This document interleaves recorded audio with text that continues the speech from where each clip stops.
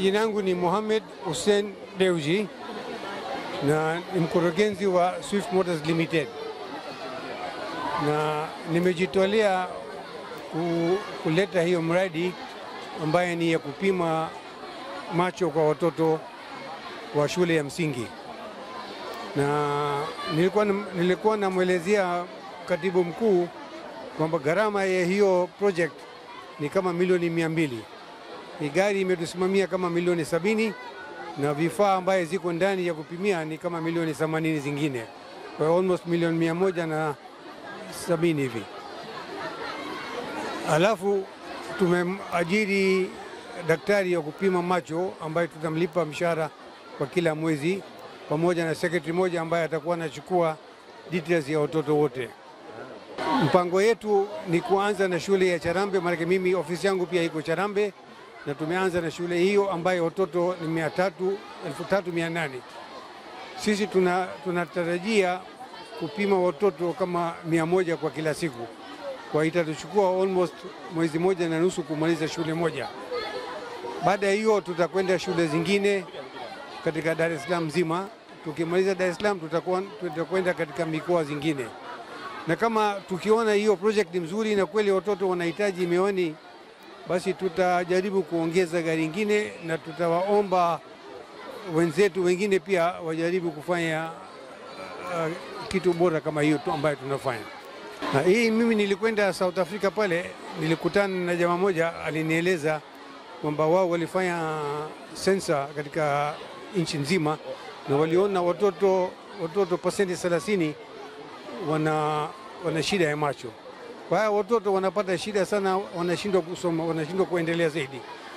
Wazee wake wanafikiri mtoto haelewi, walimu pia wanamwona mtoto sio hodari, kumbe maskini mtoto tabu yake ni macho peke yake. Kwa hiyo wakaona kwamba hii ni kitu, mimi nikaona hii ni kitu muhimu pia, maana watoto pasenti 30 ni nyingi sana, na kama akiendelea shuleni basi maisha yake itakuwa bora. Kwa hiyo nikaamua kwamba na sisi pia tunajaribu kufanya Tanzania wale wanafanya South Africa na walianza Nigeria pia. Nikaona mimi nijaribu hapa Tanzania, tuanze na Dar es Salaam alafu tuendelee pale zingine. Kwa jina naitwa Twairi Shabani Kamona, ni diwani wa kata hii ya Charambe. Katika swala zima kupokea mradi, binafsi nimeupokea mradi kwa furaha kubwa sana, na nachomwahidi Mr. Mohamed ataendelea kupata ushirikiano kwa sisi viongozi lakini pili kwa wazazi wa watoto hawa, lakini tatu kwa jamii nzima ya, ya Charambe. Tuko tayari na ndio maana leo tuko hapa kumpa sapoti na kutoa elimu kwa yeyote ambaye hatokuwa ameelewa vizuri huu mradi, kwa sababu inawezekana wapo baadhi ambao wasiotaka maendeleo kwa watoto hawa wakajaribu kupotosha kwa hapa na pale. Tuko tayari kwa ajili ya kutoa elimu na kuelimisha zaidi faida ya huu mradi. Kwa majina naitwa Mwalimu Lea Robert Masaba, ni mwalimu mkuu wa shule ya msingi Kilambo.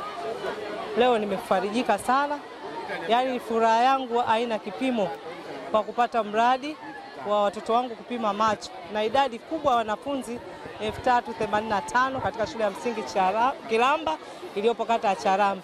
Nimefarijika sana kwa kuchaguliwa shule yangu kuwa ndo mradi wa kwanza katika uzinduzi katika shule yangu. Shule ziko nyingi, walikuwa na uwezo tu wa kusema waende wapi ili waweze kufungua huo mradi, lakini namshukuru Mungu sana, wameiona shule ya msingi Kilamba. Inaweza ikasaidia katika kusoma. Tunasema watoto wanafeli, hatujui chanzo ni nini, lakini kupitia mradi huu watoto wakipimwa macho tunaweza kujua kumbe shida watoto hawaoni. Sio kwamba walimu hawafundishi, walimu wanajitahidi sana kufundisha, lakini kupitia mradi huu watoto wanaweza kusoma na kufaulu sana. Kwa hiyo naishukuru sana Mr. David Mohamed kwa kutupa msaada huu, na wamesema itawasaidia watoto wote wa shule kuanzia awali mpaka darasa la saba, na gari lipo hapa kwa, kwa mwezi mzima. Nashukuru sana. Jina langu ni Amur Othman Amri, ni rais wa serikali ya wanafunzi shule ya msingi Kilamba. Nime, nimeenda kupima macho, huduma nimeona ni nzuri kwa kweli, ni nzuri sana, zitatusaidia wapata nafasi ya kwenda kupima, waende wasichezee nafasi. Kusema kweli, mimi ndo ninachowashauri huko, imradi waweze kujua tatizo lilokuwepo katika macho yao. Nimejifunza kuwa usidharau kitu. Kama mimi macho yalikuwa yana yananiuma, ah, nikapuuzia. Leo amekuja nimepima